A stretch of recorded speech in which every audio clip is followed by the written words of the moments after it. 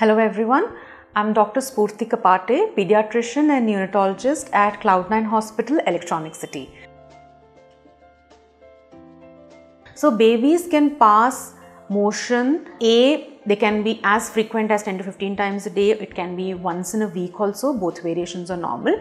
And the same uh, variation in terms of color is also normal. Like the babies can have yellow stools green stools or brown stools. So these colors are normal. When do you worry is when uh, your baby is either passing white pale chalky grayish color stools or there is obviously blood in stools. So these are the two scenarios where you should immediately uh, meet your pediatrician. But apart from these two, any other color in the baby is normal and it is not necessary that the baby will have the same color every day. There can be slight variations here and there. Um, maybe, you know, five days baby passes yellow stool and then one day has a green stool or a brown stool. So that's absolutely normal. There's nothing to worry.